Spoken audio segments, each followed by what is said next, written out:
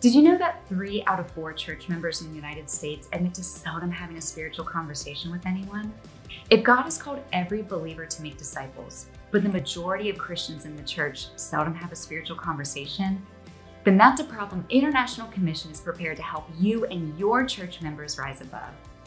With our free VIP equipping and enabling training, we work with you to develop a tailored gospel conversations program that can be tailored for one to six weeks at your church.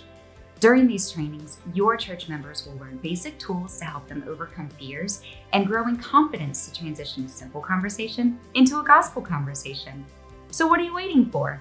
Contact us today to get the VIP treatment and see your church thrive with people who are sharing the gospel and making disciples.